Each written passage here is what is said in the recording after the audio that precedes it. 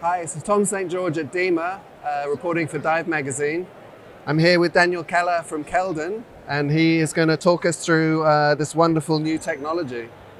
Hi, I'm Daniel Keller from Keldan, and I show you our new wireless remote control for these lights. This is the wireless remote control. You can see it has no wire. It's an acoustic system, and it works very well in water. You have two channel. This light is programmed to channel one. And you have this knob to control one of the nine power levels of the light.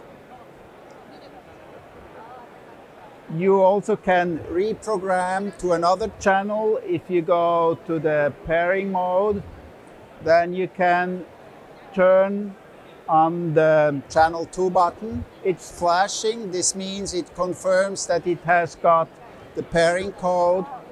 You can go back to regular mode and now you can control the light on channel 2 and it does not respond anymore on channel 1. So you actually have a remote control to control two lights independently on two channels.